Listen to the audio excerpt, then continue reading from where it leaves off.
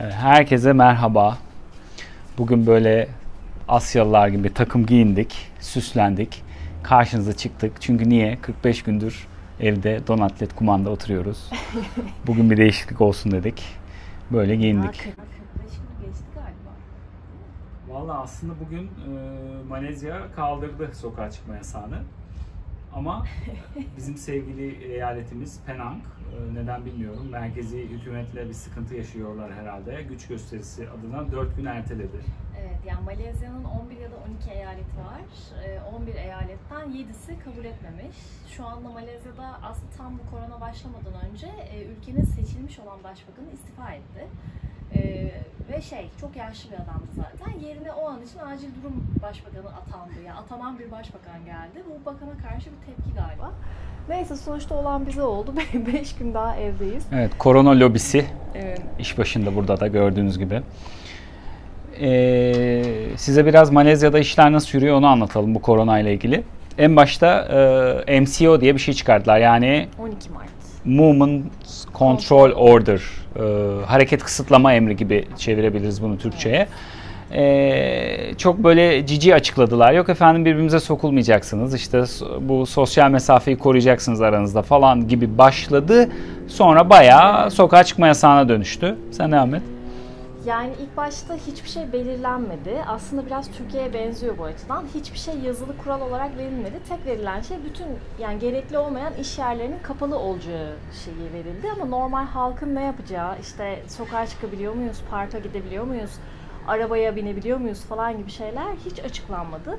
Biz de normal insanlar gibi sokağa işte koşuya çıkıyorduk, bazen parka gezmeye, bazen bakkala iniyorduk falan. Sonradan yavaş yavaş gazete haberlerini görmeye başladık. Yok işte koşuya giden adam tutuklandı. Yok bisiklete binen insan tutuklandı. 11 bin kişi tutuklandı olduğu bir noktada artık. Totalde dün okudum e, 28.900 yani 30 bin diyebiliriz. 30 bin kişi Yani- tutuklanmış. Biraz da herhalde reklam amaçlı ama fotoğrafları falan çok acıklı yani böyle zincirlere bağlıyorlar insanları işte aynı kıyafetler üzerine Daltonlar gibi falan hapse gidiyorlar bu insanlar mahkemeye çıkıyorlar yani korona zamanında bunlarla biraz uğraşıldı burada. O yüzden biz de ne yapmak ne yapsak korktuk aslında hiçbir şey e, yapmamaya başladık en sonunda. Tek markete gitmekti dışarıyla olan şeyimiz, bağımız. E, bir de evin arkasında çok ücra bir parkımız var. Korkmazsak eğer haftada bir gün falan oraya gittik yarım saatliğine o da sadece. Yani total olarak işte iki aya yakın süredir evde oturuyoruz ama Allah'tan bu arada pek kilo almadık. Ya verdik. Sporlarımızı yaptık. Ee, asıl sağlıklı beslenmeye döndük. İşte fast food'dan tabii şey yapınca Yani uzaklaşınca biz insan. aslında fast food yemiyoruz da dışarıda tabii burası Asya olunca yemekler çok güzel bize göre ve çok de, yani denemek istiyor insan. Sürekli yeni restoran deniyoruz. Onlar da margarin kullanıyor. Bu gerçek yani. Yapacak bir şey yok. Ee, Burada MSG gerçeği de var hala. MSG'nin zararlı olduğuna dair yalnız hiçbir bilimsel e, makale yok. Ben çok araştırdım. Bulabilirseniz bize gönderin. Ben e, bulamadım MSG'nin zararları. Sadece e, iftira boyutunda görünüyor şu an ama belki bunu da yaptıran lobiler vardır. Bilemeyiz. MSG lobisi. O kesin vardır öyle bir şey. Ya zaten şöyle bir şey var. MSG yoktur yazan ürünlerin üzerinde de işte e, tat arttırıcı kullanılmıştır deniyor. Onda aslında benzeri bir kimyasal sadece bir laf oynaması var yani. Neyse konudan uzaklaşmayalım. Ee, şimdi 8 Mayıs'ı bekliyoruz. Yani şöyle oldu, 4 Mayıs'ta açılıyoruz dedi başbakan. Efendim işte onun dediği günün ikinci gününde diğer bu 7 eyaletin başkanları çıkıp e, biz açılmıyoruz ama. Başkan da değil. Burada sultanlık var tabii ama biliyorsunuz. çıkanlar Ee, yine başkan yok sultanlığı. bizim e, eyaletimizde sadece başkan var. Çünkü buranın sultanı yok. Ee, Bir tek Penang'ın sultanı yok. Ee, Diğer eyaletlerin sultanları çıktı. Biz uy- biz uymuyoruz federal hükümetin söylediğine dediler. Ee, Bir guideline hazırlayacağız. İşte yönerge hazırlayacağız. Ee, 8 Mayıs'ta açacağız dediler. Bu arada 7 Mayıs'ta Tuğçe'nin doğum günü. Biz çok mutluyduk. Çıkacağız, kutlayacağız Evet diye. ya, 9 sağ ol. Mayıs'ta benim doğum günüm. O yüzden bu sene onunkini iptal etme kararı aldık. Ee, onunkini iptal benim doğum günümü kutlayacağız. Bütün genel bana gelecek. Çünkü 8 Mayıs'ta açıyor buradaki hükümetler. Yani 7 Mayıs'ta e, gidip de yani kutlamak istesek de yapabileceğimiz tek şey evin arkasındaki parka gitmek herhalde. Olmazsa mahalleden çocukları da toplayalım. Mahalleden çocuklar da social distancing yapıyorlar biliyorsun. Kaydırakta kutlarım ben şeyi. Yani sonuç olarak çok sevinmiştim ben çünkü eve pasta nereden söyledi falan diye bakarken işte 4 Mayıs'ta sokaklar açılıyor denince en azından yani çıkıp da bir gece kulübüne gitmek gibi planımız yoktu. Ama en azından bir AVM'nin işte Starbucks gibi bir kahve zincirine gidip bir masaya kendi halimizde oturup uzaktan insan izlemeyi özledik. Yani bu insan özlemi nereden e, şey olduğumuzu bilmiyorum. Avustralya'ya Çünkü insan sosyal bir hayvandır. Avustralya'ya yerleştirdiğimizden, yerleştiğimizden beri insan görme özlemi içinde yanıp tutuşuyorduk. Tam buraya geldik, e, insan da gördük, görmedik değil. Son anda gene böyle dünya kapandı, kimse yok etrafta. Ya burada e, bu arada şey yaptılar, iki haftalık şeylerle, periyotlarla uzattılar. Yani baştan kimse çıkıp da 45-50 gün e, izolasyon yapacağız demedi. Öyle deseler zaten herhalde psikolojik olarak yıkılırdık. İki psikolojik haftada bir. olarak değil ama iki haftada bir tabii uzatmaları bunu buradaki küçük e, esnafın gerçekten e, çökmesine Evet. sebebiyet verdi. Aynı bizdeki gibi burada da e, esnaf lokantaları var işte mamak diyorlar onların bazılarına. E, manavlar var, açık pazar yerleri var. Aslında bizim hayat e, rutinimize benziyor buradaki hayat rutini. E şimdi siz bu küçük insanların yani küçük insan derken küçük esnafın e, ekmeğine mani olduğunuz zaman günlük gelirleriyle yaşayan bu insanların paraları bitti yani. Hükümet de onlara bir söz vermişti. İşte biz size kredi vereceğiz sıfır faizle ya da bunun gibi bir söz vermişti. Ondan da caydı. E, Bana birilerini hatırlattı bu ama şimdi burada söylemeyeceğim. E, bu cayışlar e, buradaki insanları da korkuttu. Bir kısım var. İşte bunlar beyaz malaylar diyebiliriz bunlara.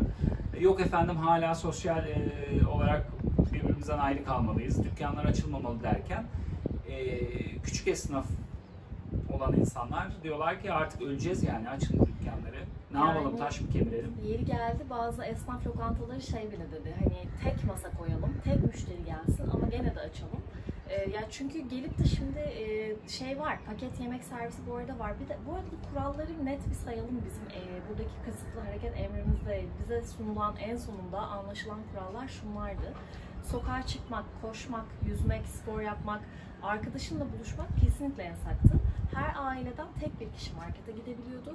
Arabaya tek kişi binebiliyordunuz. Aileden dahi olsa ikinci bir kişi yok. Taksiye de tek kişi binebiliyordunuz. Ee, ondan sonra... Şoförü tabii ne yapacaksınız? Ya şoför- bu guideline'da yok yani. Ya onu düşünmemişler. Toplu taşıma vardı. Ee, sonuçta herkesin de arabası veya taksiye binme şeysi, lüksü yok. Ama otobüslerde de social distancing yapacağız diye bir kural kondu. E, bütün işletmeler e, neredeyse akşam 8'de kapanıyordu. Zaten akşam 8 sabah 6 sokağa çıkma yasağı kesinlikle vardı. E, onun dışında e, kuaförler işte yani essential olmayan, zorunlu olmayan bütün iş yerleri kapalıydı ama marketler açıktı. Çünkü Türkiye'deki sokağa çıkma yasaklarında marketler de kapatıldı duyduğumuz kadarıyla. Bizde açık, e, marketlerde de bayağı bir böyle e, bir buçuk metre arayla işte sıra bekleme Ama tabii. E, bu işler ilk başladığında buradaki marketlerde de ya, yani yağma diyemeyiz ama e, Panik oldu. panik oldu yani. Oo, Biz de yaptık. Hatta şey biz de gittik işte burada Tesco var. E, dedim ki yani hastalığı kapmadık ama Tesco kasa kuyruğunda kapacağız Ay, ya o kadar kalabalıktı. paylaşmıştık zaten Instagram'da. Bir de şey oldu yani e, gece 12'de ilan edildi. Aynı Türkiye gibi. Zannediyorum bu bir şeyi e, bu düşünülerek yapılıyor. Yani gece 12'de ilan edilmesinin bir sebebi var. E, hani o saatte belki daha az panik alışveriş olur Ama diye. bilmiyorlar ki buradaki Tesco gece 2'ye kadar açık. İşte yani biz de gece 12'de Tesco'daydık o sırada. Ee, biz de katıldık bu paniğe. Ama aslında iyi oldu çünkü hemen arkasından e, evde yemek yapma imkanımız oldu. Olaylar belli olana kadar Olaylar, dışarı çıkmak olaylar. zorunda kalmadık. Bu arada hastaneler açıktı tabii e, kısıtlı hareket emrinde. E, ondan sonra bu şeylerde tabii yani restoranlar şimdi şöyle paket servis yapıyorlar ya da gidip alıp kapıdan evde yiyebiliyorsunuz ama bir masa olmayınca kimse oturmayınca insanın o restoranda da bir güveni kalmıyor. Hep bir algı vardır ya burası boşsa oturulmaz falan diye. Ya bütün restoranlar neredeyse öyleydi. Biz dışarıdan sanırım iki kere yemek söyledik 45-50 gün içerisinde. Ee, o da yani korona olacağız diye değil, canımız istemedi yani dışarıdan bir şey söylemek. Ee, bir de taze midir, değil midir, ne hangi malzemelere ulaşabilirler bilemediğimiz için e, söylememeli taraftarıydık. Birçok insan herhalde öyle. Onun için açmak istiyorlardı artık, masaları sormak istiyorlardı. Bir de tabii Ramazan konusu var, iftar yapacaklar falan.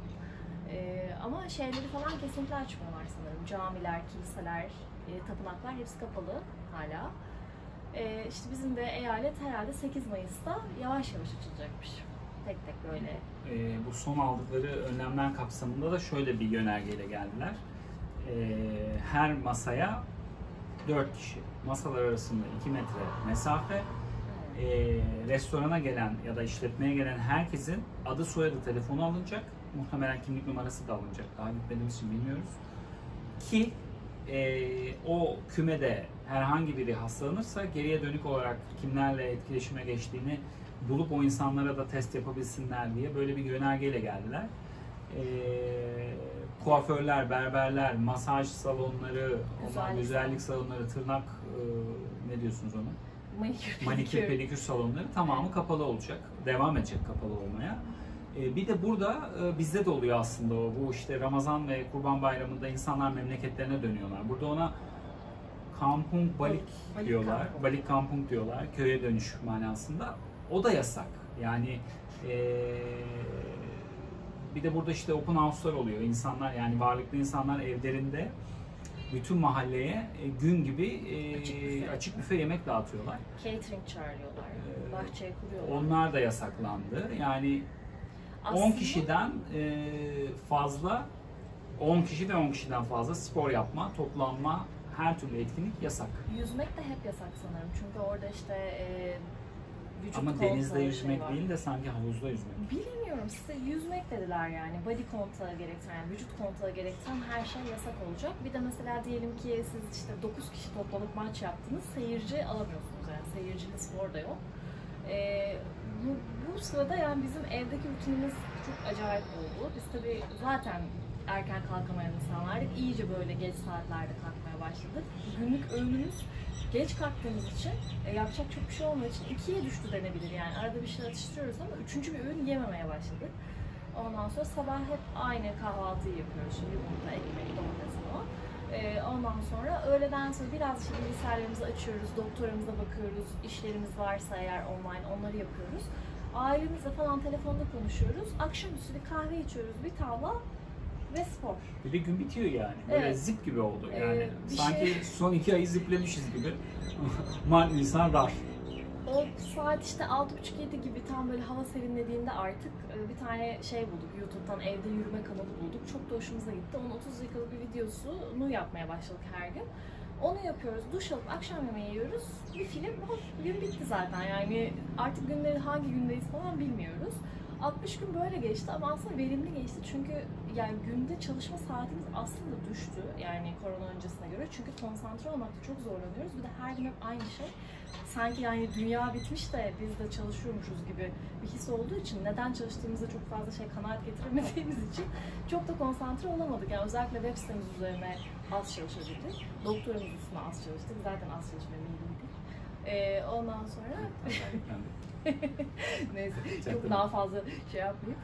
Neyse sonuç olarak e, daha çok çalışmış, e, ya- yaptığımız işten daha çok verim almış olduk. Normalde yaptığımızdan daha çok spor yapmış olduk. Daha sağlıklı beslenmiş olduk. Bir de ister istemez tabii işte margarinli, MSG'li falan yemeyince kilo vermiş olduk. Ama böyle işte Facebook'ta falan düşman mesajları var bu tip insanlara karşı. Onlar da hain bizden değildir. Bu insanlardan her şey beklenir. Karantinada kilo mu verilir falan diye. Biz biraz öyle oldu. Ee, ama açıkçası e, şeyden de korkuyorum. Yani sanki bir daha hiç böyle dışarı çıkıp aynı gün içerisinde alışveriş yapıp sinemaya gidip sonra eve gelip bir yemek yiyip ondan sonra çalışıp da e, film izleyip uyuyamayacakmışım gibi. Yani bütün bu aktiviteler bir güne nasıl sığıyormuş diye düşünüyorum şu anda. Çünkü bir kere markete gidiyoruz iki saat mesela. Bütün bir gün bay- baygın yatıyoruz evde yorgunluktan. Neden bilmiyorum. Ben artık şey demeye başladım. Acaba marketlerde bir şey mi sıkıyorlar böyle havaya dezenfektan falan ondan mı etkileniyoruz falan. İyice paranoyak oldum yani. Ee, bilmiyorum bundan sonra normal hayata nasıl döneceğiz yani. Döneriz döneriz. Hele bir de Türkiye'ye gitme planları yapıyoruz şu anda yani çünkü artık burada bulunmamızın bir sebebi kalmadı. Okullarımız kapandı, şeylerimiz e, her yer kapalı. Yani neden ailemizle olmayalım? Gideriz Türkiye'de karantinamıza gireriz. Ee, en azından pide yeriz ya diye düşünüyoruz yani. Bir de Ramazan bayramında ailemizle oluruz. Zaten bunlar Ne olmasa... oldu ikinci sıraya konman çok acayip. Pideyi bir, aile Ama iki. ailemizi hemen göremeyeceğiz herhalde. Gidince bir karantina durumu var Türkiye'de. Ha, Ama Ee, evet ara pide söyleriz şey karantina. Evet, Gökhan pide hayalleriyle yaşıyor. KYK yurduna pide söylenir mi acaba falan gibi araştırmalar da yaptım. Ee, ama şöyle bir şey var, tabii bunlar olmasa biz 12 Mayıs'ta Türkiye'ye dönüş biletimiz vardı. Şimdi uçak var mı yok mu? Katar Hava Yolları'nı arıyoruz, ulaşamıyoruz. Katar Hava Yolları da bazen diyor ki uçak var, sonra kapıya gidiyorsunuz, iptal edildiğini duyuyoruz falan. Ee, o yüzden herhalde Haziran başına çekeceğiz bu gibi görünüyor. Evet, şimdilik Malezya'dan haberler bu kadar. Ee, zaten çok bir haber yok yani. Hepsi copy paste günleri, kopyala yapıştır şeklinde gidiyor. Ha, bir de şeyden bahsedelim. O konuda bütün dünyada panik oldu çünkü. Ee, Bizim de aslında seyahat planlarımız vardı yani. Vietnam seyahatimiz vardı. AirAsia, buranın işte lokal e, ucuz hava yollarından biletimiz vardı. Satın alınmış yani hali hazırda. E, bütün dünyada olduğu gibi iptal oldu ve sonunda biz de e, paramızı geri istedik. E, fakat burada insanları yani AirAsia en azından para değil şey olarak, mil olarak, puan olarak, havayolu puanı olarak geri vermeye zorladı. Hatta istemediğimi defalarca söylememe rağmen şu an hesabımda puan olarak yüklü o şeyler, bilet paraları. Burada böyle de bir zorlama yapıldı insanlara. O tabii e, ben onu sonuç web sitesine de bir yazı olarak yazdım. Eğer Avrupa Birliği'ne doğru uçuyorsan e, çok büyük hakların var. İşte bu ya işte birinci dünya ülkesinde e, yaşıyor olmanın güzellikleri yani. Siz Avrupa Birliği'ne doğru uçuyorsanız ya da Amerika'ya doğru uçuyorsanız sizi koruyan çok güzel kanunlar var ama işte böyle üçüncü dünya ülkelerinin olduğu Asya yönündeki bir hava, hava yoluyla uçuyorsanız o ne isterse Ama o yani. Biraz düşük. E, vermiyor paramızı. Linkler koydum ben işte bu e, web sitesinde bir yazı var. Oradaki linkten gidip eğer böyle bir durumdaysanız paranızı isteyebilirsiniz.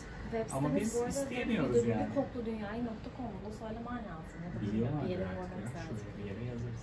Ee, bir de şey yani ama düşük bütçeli hava yolu olmasından da kaynaklı. Çünkü ben zannetmiyorum Türk Hava Yolları böyle bir tavırda bulunmamıştır herhalde yolcularına. Siz neler yaşadınız bunları da bize iletin. Çünkü biz yani defalarca yasal olarak işlem başlatacağımızı söylememize rağmen AirAsia hiç oralı olmadı. Şu an hesabımızda Başlatmayacağız da zaten onu biliyor yani. ya kim bilir ne zaman kullanacağız o puanları bir daha zaten yani Ha, sen- bir yıl tabii süreli verdi ama bir yıla şimdi kim öyle kim kala Covid'in ikinci dalgası, üçüncü dalgası yok efendim. Movid. Ya- Ondan sonra Movit. Bir de biz yani bir daha buraya gelebilecek miyiz? Çünkü bu ülkelerin aslında Malezya yani korona yokken de sınır konusunda çok e, şey katı bir ülkeydi. Her türlü gıcıklığı yapıyorlardı gümrükten geçerken vizesiz olmasına rağmen. E, şu anda da yani hiç kimseyi almıyorlar. Bildiğim kadarıyla şeyleri bile almadılar. Yurt dışında kalmış olan ama Malezya'da çalışma izni olan, oturma izni olanları dahi almadılar. Sadece Malay biriyle evliyseniz ülkeye girebildiniz bu dönemde. Hala da öyle. Yani e, bizi alacaklar mı belli değil. Bir daha ne zaman ben buraya geleceğim? Valla göreceğiz. Bunları da e, yaşayacağız. E, Evet. Ya aslında biz çok kurtlandık yani seyahate hemen gitmek istiyoruz. Ee, insanlar bize deli misiniz falan diyor ama yani artık bilmiyorum poşet moşet geçirip kafamıza bineceğiz uçaklara galiba. Çok sıkıntı çünkü. Bileceğiz. Yapacağız galiba. Evet çok uzadı video. Ee, eğer bize soracağınız bir şey varsa yazın. Ee, hatta ben bunu Instagram'dan da yazmak istiyorum. Sorularınızla ilgili böyle okuyarak sorunuzun başlığıyla cevap verdiğimiz bir video çekmek istiyoruz. Evet. Ee, çok güzel olur. Her şeyi sorabilirsiniz ya. Dışarıda nasıl yaşıyorsunuz, nasıl para kazanıyorsunuz çok soruldu onun videosunu çektik. Onunla ilgili YouTube'da videomuz var. Ee, ucuz uçak bileti nasıl buluyorsunuz? ben sürü- bir de bir tane şey sorabilirsiniz. çekmek istiyorum. Bir sonraki de o olsun. Yani yurt dışına gittiğinizde nasıl ev buluyorsunuz? Yani çünkü bence bu büyük bir Bu şey, e, lokal bilgi gerektiren bir şey. E, o konuda bir video çekeriz. Görüşmek Görüşürüz. üzere. Sağlıklı kalın.